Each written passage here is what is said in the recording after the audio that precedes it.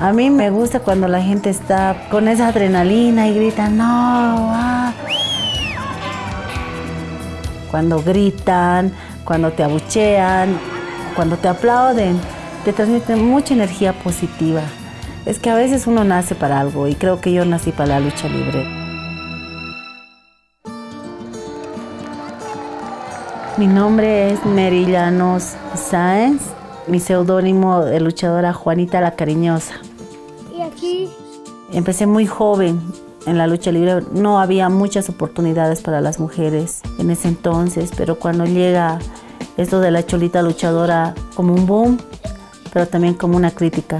Juanita la cariñosa. Una mujer de pollera es muy recatada, no enseña las piernas con facilidad. Entonces en este deporte nosotros las maromas y los saltos y los vuelos que hacemos son realmente que mostramos las piernas. Entonces sí hubo crítica de nuestra sociedad, de nuestro mismo género hacia nosotras. Pero a la vez también hubo admiración.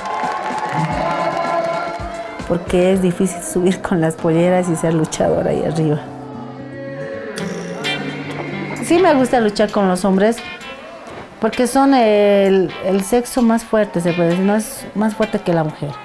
Y demostrarles que una mujer también les puede pegar duro. Sabemos que él es más fuerte, pero nuestra inteligencia es más. Cada una de nuestras compañeras tiene familias, pero ya ser luchadora, madre, ama de casa es difícil.